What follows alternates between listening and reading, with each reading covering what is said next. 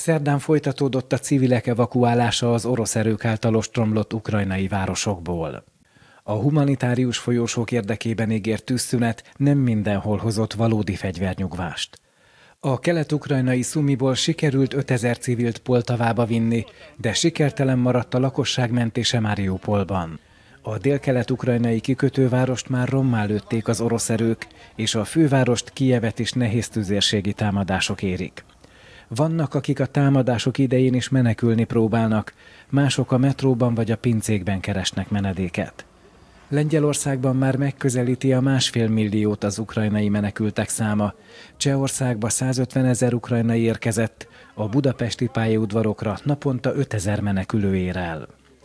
A kínai Vörös-kereszt első segélyszállítmánya úton van Ukrajnába, jelentette be a pekingi vezetés.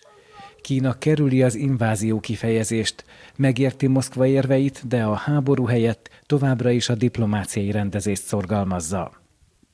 Az orosz védelmi minisztérium azzal indokolta szerdán az orosz erők által végzett ukrajnai támadásokat, hogy a műveletekkel előzték meg a Donetsz medencei szakadár területek elleni ukrán támadásokat.